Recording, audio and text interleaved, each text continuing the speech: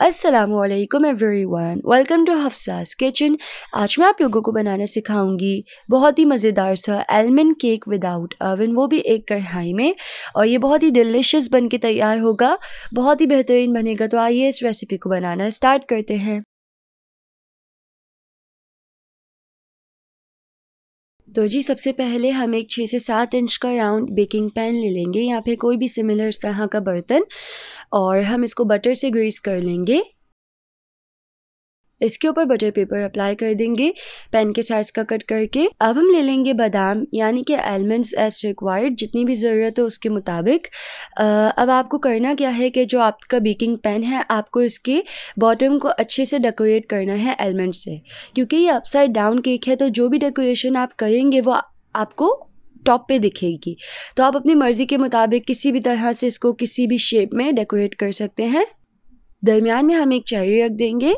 तो हमारा पैन जो है वो रेडी हो चुका है, इसको एक तरफ़ रख देंगे और अब तैयार कर लेंगे केक का स्पंज। उसके लिए हम एक बोल में सबसे पहले 100 ग्राम आइसिंग शुगर ले लेंगे, जो कि वन कप होगी। 100 ग्राम्स बटर जो कि कप्स में होगा हाफ़ कप ये अनसॉल्टेड मक्खन है बेकिंग में हमेशा अनसॉल्टेड मक्खन इस्तेमाल करना चाहिए। इसे हम इस तरह से हल्का सा मिक्स कर लेंगे, क्योंकि अभी हमें इसको बीट करना है और अगर डायरेक्ट हम इसको बीट करेंगे तो इसमें जो आइसिंग शुगर है वो हर जगह उड़ेगी। उसके लिए इस तरह से पहले आप इसको मिक्स कर लें और अब इसको दो मिनट के लिए आप फुल स्पीड पे बीट कर लें। तो जी, मैंने इसे अराउंड तीन मिनट के लिए मीडियम टू फुल फ्लेम पे बीट कर लिया है और ये अच्छे से फ्लफ़ी हो चुका है। अब हम इसमें ऐड कर लेंगे एग लेकिन पहले एक अंडा ऐड कर लेंगे। और इसको लो फ्लेम पे एक मिनट के लिए बीट करेंगे ताकि अंडा अच्छे से मिक्स हो जाए। जब एक अंडा अच्छे से मिक्स हो जाएगा तो हम साइडों से इस तरह से जो बैटर है उसको दरमियान में कर लेंगे ताकि सब कुछ इक्वली मिक्स हो। चाहे स्टैंड मिक्सर हो, चाहे इस तरह से बोल हो और आप हैंड बीटर यूज़ कर रहे हो, हमेशा जो साइड पे बैटर लगा होता है, उसे दरमियान में लाते हैं इस पैचला की मदद से। इसमें दूसरा अंडा ऐड कर लेंगे और इसको भी बिल्कुल लो स्पीड पे, यानी कि वन पे हम इसको एक मिनट के लिए बीट कर लेंगे। ये टेक्सचर के लिए बहुत इंपॉर्टेंट है, अगर आप अंडा डालने के बाद फुल स्पीड पे इसको बीट करेंगे तो टेक्सचर ख़राब हो जाता है। तो दूसरा अंडा भी अच्छे से मिक्स हो चुका है। अब हम इसमें ऐड कर लेंगे लेमन जूस तकरीबन half teaspoon one four teaspoon almond essence अगर आपके पास आलमंड एसेंस ना हो तो आप यहाँ पे बटर एसेंस या फिर आप लेमन एसेंस या फिर आप इस तरह से वनीला एसेंस कुछ भी यूज़ कर सकते हैं, कोई प्रॉब्लम नहीं है। इसको मिक्स कर लेंगे।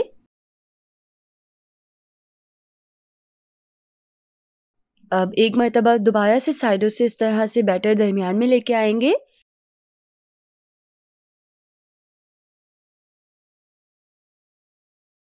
और इसको अच्छे से मिक्स कर लेंगे। जस्ट मिक्स करेंगे कुछ सेकंड्स के लिए ताकि तमाम चीज़ें आपस में अच्छे से मिक्स हो जाए। अब हम एक सीव ले लेंगे, यानी कि एक छन्ना, और इसमें ऐड कर लेंगे 50 ग्राम्स ऑल पर्पस फ्लावर यानी कि मैदा, और इसको अच्छे से छान के इसमें डाल देंगे। साथ ही इसमें ऐड कर लेंगे 50 ग्राम्स आलमंड पाउडर या फिर आलमंड फ्लावर ये मैंने घर में खुद ही तैयार किया है। Half teaspoon baking powder one eighth spoon salt और इसको अच्छे से मिक्स कर लेंगे।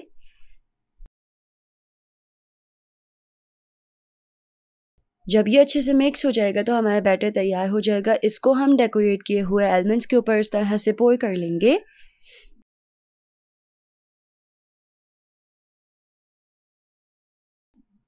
इसको इस तरह से थोड़ा सा प्रेस कर लेंगे और अब हम इसको करेंगे बेक। तो मैं इसको बेक करूँगी। एक कढ़ाई में मैंने लो फ्लेम पे कढ़ाई को 10 मिनट के लिए प्री हीट कर लिया था। अब कढ़ाई के दरमियान में हम इस तरह से एक स्टैंड रख देंगे। मैं इस तरह से राउंड कटर रख रही हूँ। कोई भी आप इस तरह की चीज़ रख सकते हैं। इसके ऊपर अपना बेकिंग पैन रखेंगे। और इसको कवर करके 40 टू 45 मिनट्स के लिए लो टू मीडियम फ्लेम पे बेक कर लेंगे।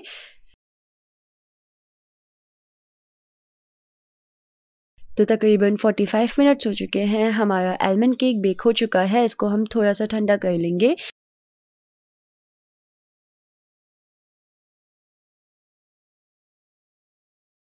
और अब हम इसको कवर करके रख देंगे ताकि ये थोड़ा रूम टेम्परेचर पे आ जाए। जब ये रूम टेम्परेचर पे आ जाएगा तो हम साइडों से नाइफ़ की मदद से इसको रिमूव कर लेंगे।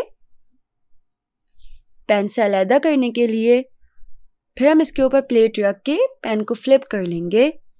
और अब हम बहुत ही मज़ेदार से आलमंड केक के ऊपर से बटर पेपर हटा लेंगे। तो हमारा बहुत ही डिलिशियस आलमंड केक जो है वो रेडी हो चुका है, लेकिन सबसे इंपॉर्टेंट स्टेप हम इसको ग्लेस करेंगे हनी से, यानी कि शहद से।